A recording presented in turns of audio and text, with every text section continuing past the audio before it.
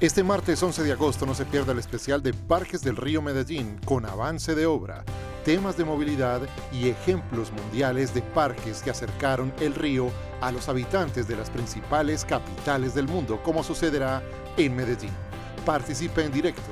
Recuerde, martes 11 de agosto, especial Parques del Río Medellín, en directo por Telemedellín, aquí te ves.